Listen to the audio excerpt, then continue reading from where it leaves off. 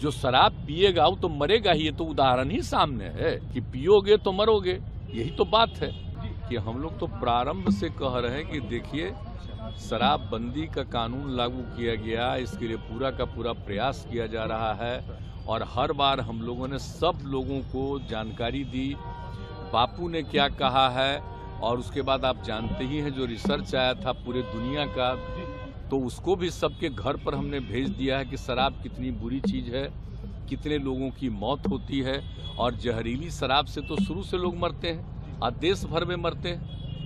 यहाँ जितना जहरीली, जब शराब बंदी नहीं थी, तब भी जहरीली शराब से यहाँ भी मरते थे। लेकिन अन्य, एक मिनट, एक जान लीजिए, जरा अन्य राज्यों में भी बहुत भारी संख्या में लोग जहरीली शराब से मरते थे। तो हम लोगों ने तो शराब लागू कर दिया, लेकिन आपको मालूम है, सबसे पहले 16 में ही ना जहरीली शराब की बात हुई थी।